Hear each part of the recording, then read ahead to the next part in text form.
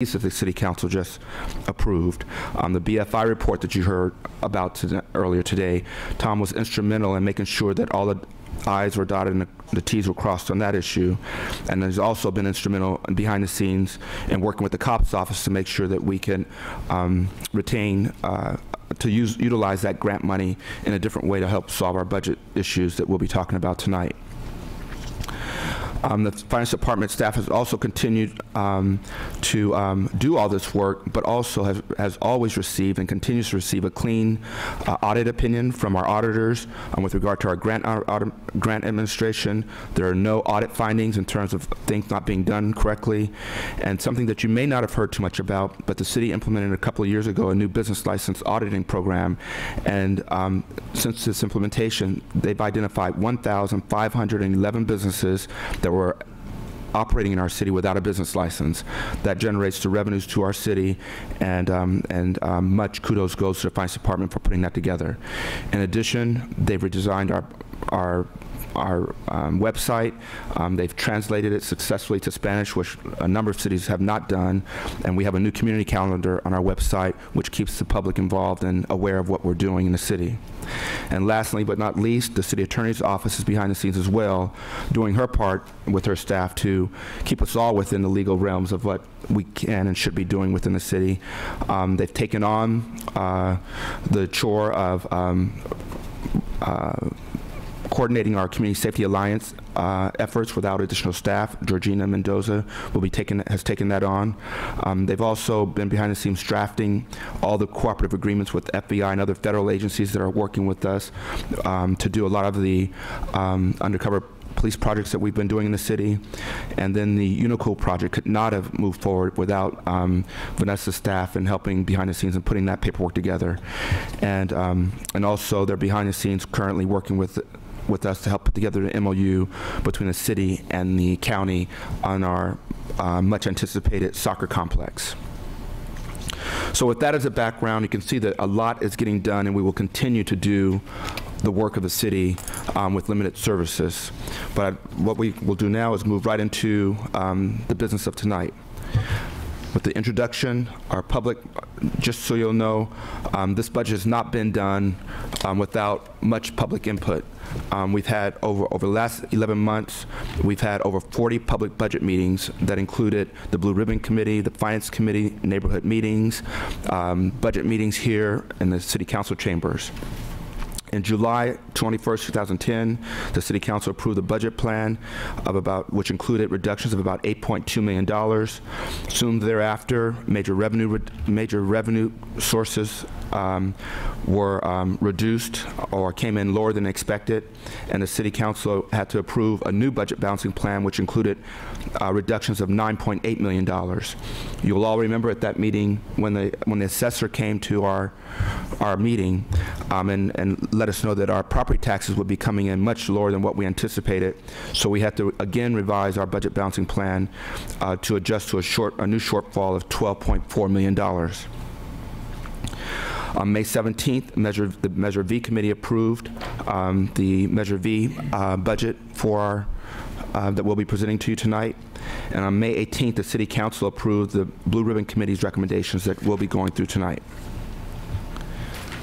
Again, there were four pieces, major pieces that the Blue Ribbon Committee recommended that the City Council approve um, that are essential for passing a balanced budget tonight. They include the vendor reneg- renegotiations um, with BFI that you've already heard about, utilizing a COPS grant, leasing out certain ci- city facilities, and implementing the March 2nd, 2010 budget balancing framework. With regard to the vendor renegotiations, the new revenue, as you've heard, the new contract, as you've heard, as- you've heard earl- earlier tonight, will generate $1.3 million. BFI will provide a number of new enhanced services. One, one additional item that um, BFI will be doing is they will be giving the city a one-time check for $350,000 for, uh, which is we're um, identifying as a, a community enhancement payment that the city can use. However, um, the city council feels um, uh, the need to do so. Um, At this point, it will be being used to balance our budget for the next upcoming fiscal year.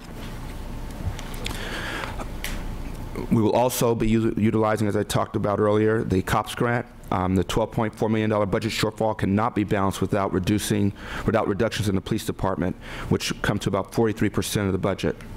So um, the budget tonight that you'll be pr- presented with includes the elimination of five vacant police officer, officer positions, and it utilizes the COPS grant to retain nine police officers as opposed to hiring nine new police officers, which will result in an annual budget savings of $1.4 million for the next three years.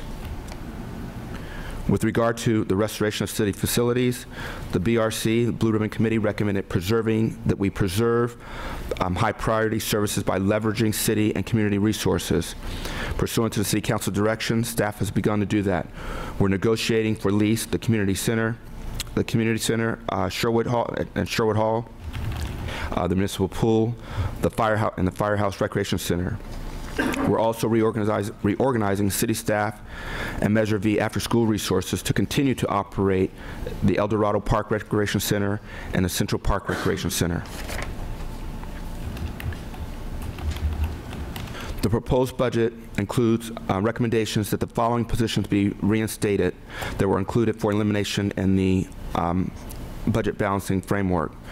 We'll be reinstating the office technician um, as a result of um, salary savings from the uh, retirement of the fire chief. We'll be um, re- reinstating the office technician, and we'll be and community development, and we'll be using CDBG funds for that purpose.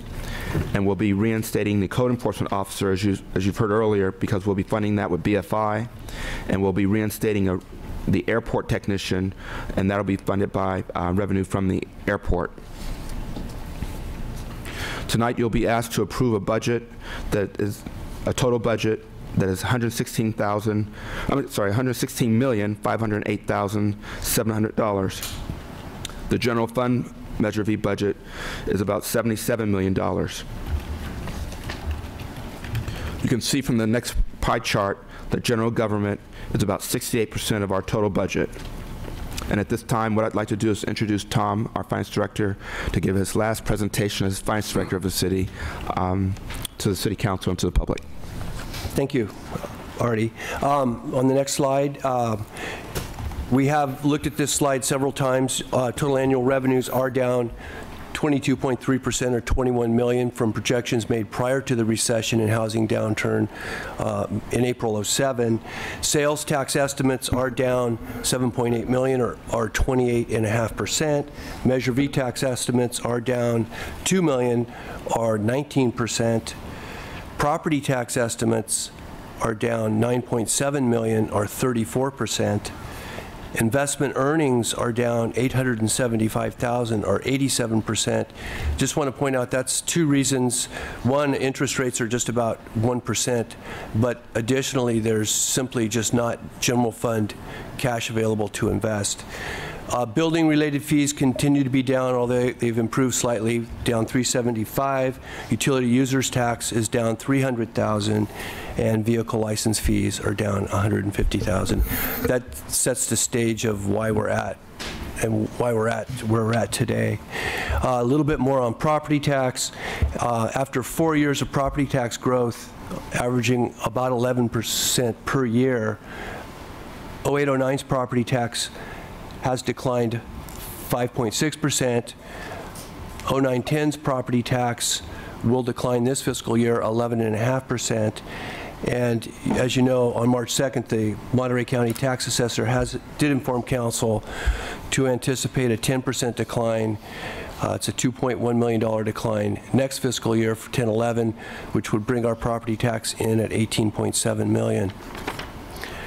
Sales tax. Sales tax has declined 11 consecutive quarters beginning in April '07. That's almost three years of sales tax declines. 0809 sales tax declined 11.1%. 0910 sales tax will decline 10.7%, although, as you can see by the bar chart there, we do expect some improvement next year. HDL, the city sales tax consultants, are forecasting some improvements as our state, state economists are. We, we will, we are expecting to see some improvements in autos, food and drugs, fuel and service stations, and consumer goods. Building and construction con- will continue to be down, and business and industry and restaurants and hotels are predicted to stay flat. So what does that mean for Salinas? Um, We are anticipating an overall uh, growth of about um, 1.5% in our sales tax. Additionally, we are expecting new, new sales tax from our new Walmart store. So overall, sales tax is anticipated to increase 400,000 next year, or uh, 2.1%. Measure V tax revenues are down similar to sales tax. 0809's Measure V tax declined 9.4%. 910's Measure V tax declined 9.3%. Uh, HDL uh, is forecasting modest improvements in Measure V taxes of 2.3% next year. Uh, We expect Measure V to come in at 8.6 million.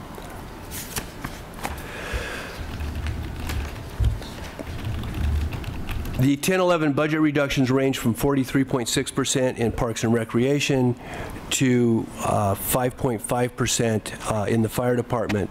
The balancing plan of 12.4 million includes 10.3 million in budget reductions and 2.1 million in new revenue. The new revenue would come from the fire business inspection program, uh, increased uh, uh, building and plan check fees, and the the just recently approved BFI uh, contract extension.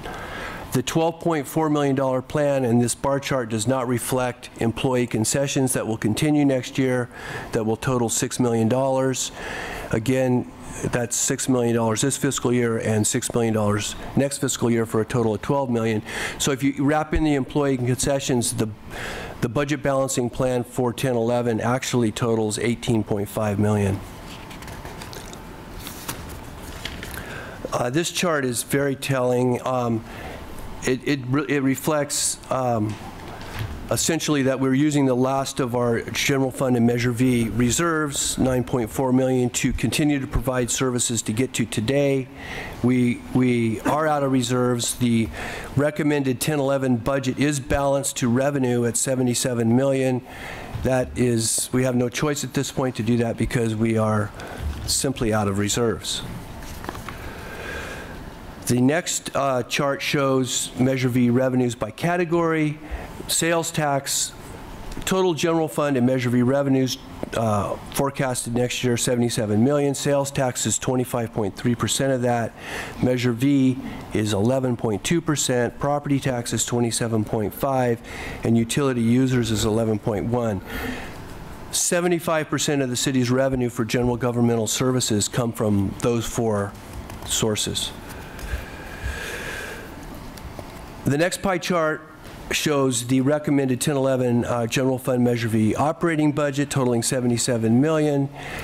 The police department is at 44.8% of that. The fire department is at 19.8% of that. Public safety uh, is 64.6% of the um, recommended budget.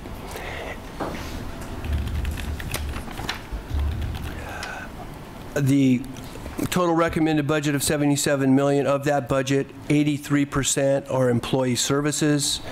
This does reflect uh, the reduction of 95.5 full-time positions recommended uh, in next year's budget that will result in about 40 layoffs. The recommended Measure V budget um, totaling 8.8 million was approved uh, to move on to City Council for approval by the Measure V Committee on May 17th. The largest share of the Measure V budget going to the library at 42.4%, next being police at 32.2%, and followed by fire at 7%, which does include the paramedic program. Um, Some comments on the capital improvement budget. Uh, It does total almost $11 million. It's funded primarily, almost exclusively by special revenue funds. The general fund is only making required investments in that capital improvement program at 372,000. The balance are being financed from gas tax, uh, federal aviation grants, restricted development fees, CDBG funds, the redevelopment agencies, our enterprise funds, and a variety of other special revenue funds. The $372,000